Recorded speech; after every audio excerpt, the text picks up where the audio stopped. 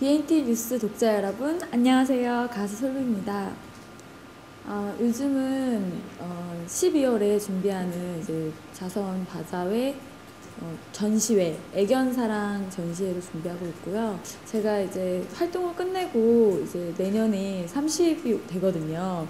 그래서 30이 오기 전에 20대를 이제 보내는 어, 전국 여행을 계획을 했었어요. 처음에 시작할 때는 어, 할 수 있을까라고 생각했는데 막상 떠나보니까 어, 힘든 부분도 있었지만 정말 좋은 추억들도 많이 얻고 그렇게 바쁘게 나름대로 지내고 있습니다. 어, 우선 서른이 너무 반갑고요. 네, 그리고 20대 뭐 잡아봤자 잡힐 수 없는 거기 때문에 미련 없이 보내는 거에 연습을 많이 하고 있고요. 이제야말로 정말 어, 이 사회를 살아가는 데 있어서 같이 공감할 수 있는 나이가 되지 않았나 싶어서 앞으로 할 수 있는 것들에 대한 기대가 정말 큰 것 같아요. 제가 생각하는 예술이란 예술을 좋아한다면 좋아하는 거고 제가 예술을 하고 있다면 예술을 하는 것 같아요. 그리고 연예인으로서 줄 수 있는 그 영향력 있는 부분에 있어서 무언가 긍정적인 방향을 조금 가이드 역할을 해줬으면 하는 바람도 있었고요. 제가 이제 그림을 시작하고 처음을 처음 맞는 대선이라서 정말 나라의 큰 행사고 이제는 어 제가 정치에 대해서 알지는 못하지만 그래도 남모라라 남의 일처럼 생각할 수 있는 나이는 아닌 것 같아요. 그래서 뭐 정치에 대해서 말하진 않아도 같이 함께 어 이런 사회가 됐으면 좋겠어요 라는 마음으로 어 따뜻하게 나름대로 표현해본 것 같아요.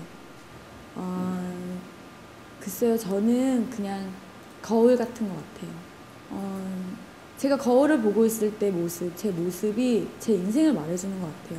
그래서 더 웃으려고 하는 이유도 그거예요. 내가 웃으면 어, 마치 운, 어, 좋은 일들이 일어날 것 같고 내가 울고 있으면 슬픈 일들이 일어날 것 같은 그냥 제 인생은 거울을 보면서 최대한 예뻐지려고 했던 것도 제 마음은 마음이 예뻐지기 위해서 몸도 예뻐지려고 노력했던 거고 그래서 그냥 어, 저는 거울을 보면서 그냥 저를 가꾸면서 살아가는 것 같아요. 이- 이렇게 말씀드리는 게 더 편할 것 같아요. 예전에는 어, 기분 좋은 것보다 힘든 게 더 많았어요. 슬픈 게 더 많았어요. 근데 지금은 슬프고 어, 힘든 것보다 기분 좋은 것들이 더 많아요. 기분 좋은 날들이 더 많고 기분 좋은 것들이 더 많을 때인 것 같아요. 그래서 어, 요즘은 사람들이 물어보면 행복하다는 얘기를 하고 싶어요.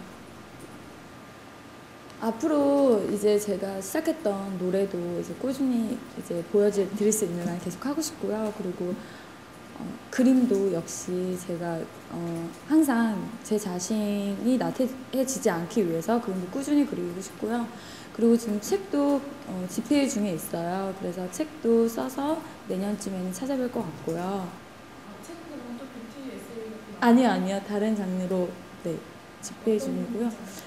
그, 그거는 아직은 좀 말씀드리기가 좀, 네. 그래서 내년에 네, 출간 기념회 때 그때 짠하고 보여드릴게요. 네, BNT 뉴스 독자 여러분. 아, 이제 2012년 겨울이 가고 이제 2013년도가 오는데요. 어, 여러분들 정말 이제 추운데 그래도 항상 따뜻하게 어, 몸조리 잘 하시고요. 2013년도 오는 2013년도도 다 행복하게 그리고 모든 소원 이룰 수 있는 그런 건강한 여러분들이 되셨으면 좋겠습니다. 항상 행복하시길 기도드릴게요. 그럼 감사합니다. 여태까지 솔비였습니다. 최근에는 또 명품 복근도 화제가 됐었어요.